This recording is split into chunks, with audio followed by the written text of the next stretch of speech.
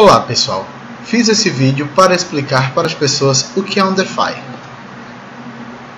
Antes de mais nada, você que já me segue, já chegou até aqui, quer conhecer, aprender e ter conhecimento, se inscreve no canal, segue as minhas dicas, compartilha, toca o sininho da notificação e vamos para o vídeo.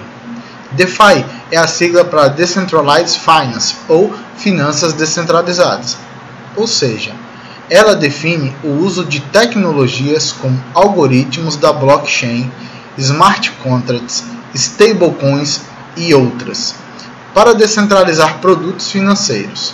Nesse tipo de criptoativos, não há um comando central, como um banco comum, por exemplo. As finanças descentralizadas, também conhecidas como DeFi, são uma forma experimental de finanças que não dependem de intermediários financeiros centrais, como corretoras, exchanges ou bancos. Em vez disso, utiliza contratos inteligentes em blockchains, sendo mais comum a da Ethereum.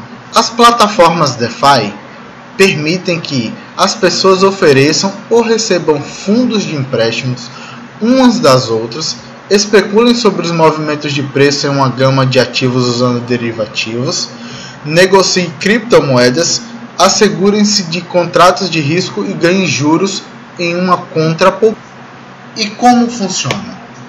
O DeFi tem como base os aplicativos descentralizados, conhecidos como DEPs, que executam funções financeiras em livre-razão digitais chamados de blockchain uma tecnologia que foi utilizada pela primeira vez pelo Bitcoin, mas desde então tem se popularizado cada vez mais. DeFi.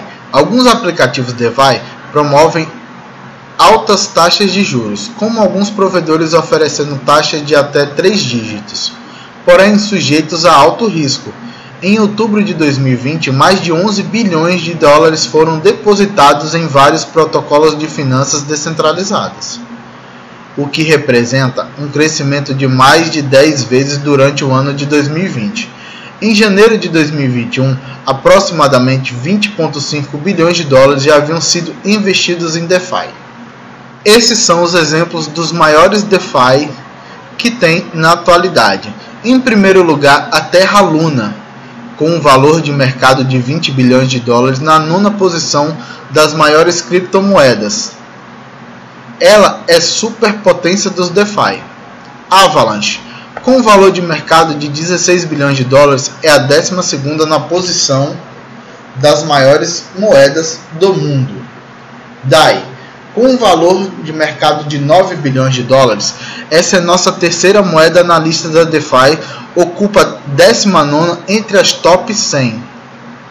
E Chainlink, com um valor de mercado de 9 bilhões de dólares, essa é nossa terceira moeda DeFi, na lista ocupando a 19 entre as top 100 moedas do mundo. E aqui fica uma dica para você. Tome conta do seu dinheiro, invista com sabedoria. Você é dono do seu dinheiro. Esse canal não dá dica de investimento, mas fico agradecido por ter ficado até aqui. Compartilhe meus vídeos deem like e se inscrevam no canal. Até a próxima e fui!